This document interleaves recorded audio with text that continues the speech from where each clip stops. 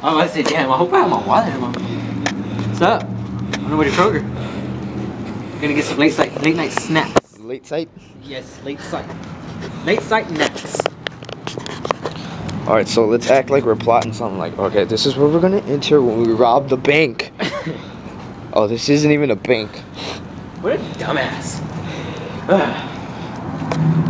if you look out to our right, you will see a brick wall. Or not. Are you gonna focus, you son of a bitch?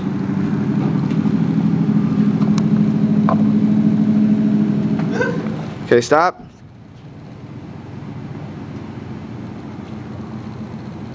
Okay, there you go. Are you recording? Oh yeah. Let's do this. We go on a run.